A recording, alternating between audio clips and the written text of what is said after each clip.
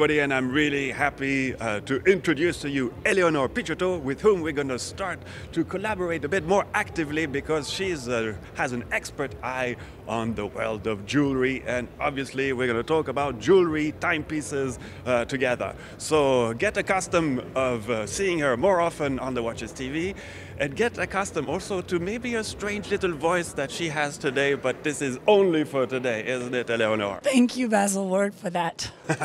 okay, so two reports that we're going to produce uh, uh, today with this uh, Baselworld uh, 2018 edition. And the first one, we're going to focus on high-end, uh, well, high jewelry timepieces. So please give me your, uh, your selection of most interesting, astonishing pieces that you saw here. It's been actually really hard to find which are the one that we really wanted to talk about, but we've shortcut about five pieces, starting with the high jewelry Serpenti from uh, Bulgari, which is an astounding piece of jewelry set with turquoise, diamonds, and um, set on rose gold that you that can entwine um, around the wrist, as most Serpenti watches, with a secret watch on the head of the snake. So well thought and so well constructed that once you have it on your wrist, you don't actually feel it, which is very nice the way the turquoise is actually set next to the brilliant cut um, diamonds makes such a rendering between the the opacity of the turquoise next to the brilliance of the diamonds. All right, number two. Number two, I must say that the high jewelry secret watch from Graf, which doesn't really have one specific name, but is one of their latest, latest release, is set with over 35.7 carats of diamonds, all in which you can find Marquise cut diamonds, oval diamonds, brilliant cut, emerald cut. You, when, when you open just the little side on the dial, you can read the time, and then when you close it up, it's just a regular diamond bracelet with the kind of substantial um, width on the wrist, which makes it a high jewelry piece and a bracelet at the same time.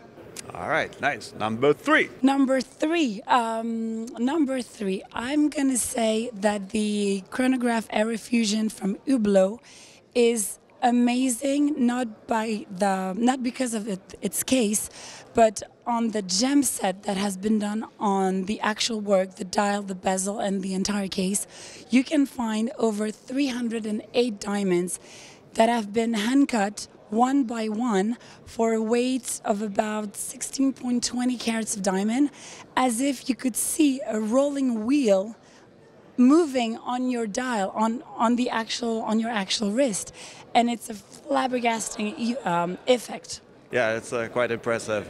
Number four? Number four um, is with no argue the De Grisogono Luna Diamante um, high jewelry timepiece, where you can find on the bracelet about six emerald cut diamonds that have been set um, three on one side, three on the other, for a weight of between five to 10 carats each, which comes down to a total of about 50 carats all around the case with um, some sort of like secret emerald paid, paved inside the bracelet. You have obviously snow set diamond, the dial on the bezel.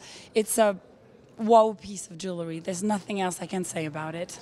So last, last uh, wow piece, please. The last wow piece is Jacob. Um, it's actually a tourbillon, which is probably out of all the high jewelry timepieces we've been um, showing and seeing uh, during the fair, has a big complication, which is the tourbillon that you can see at 6 o'clock on the dial. You have about 35 carats of pink sapphire pink, slightly purplish.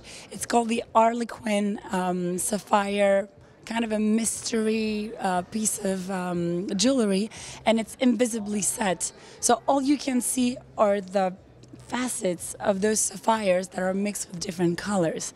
Um, I want to say that if I were to pick one of those fives, I would have no idea which one to pick.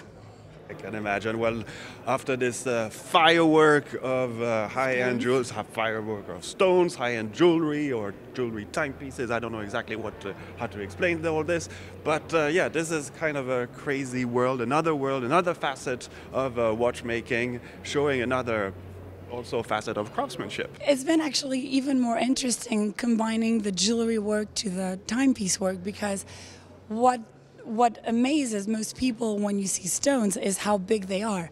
But when you integrate that to the whole craftsmanship of how it's been integrated on a wrist to a specific diameter or a specific width, makes it even more impressive. All right. Thank you very much, Eleanor, and see you real soon.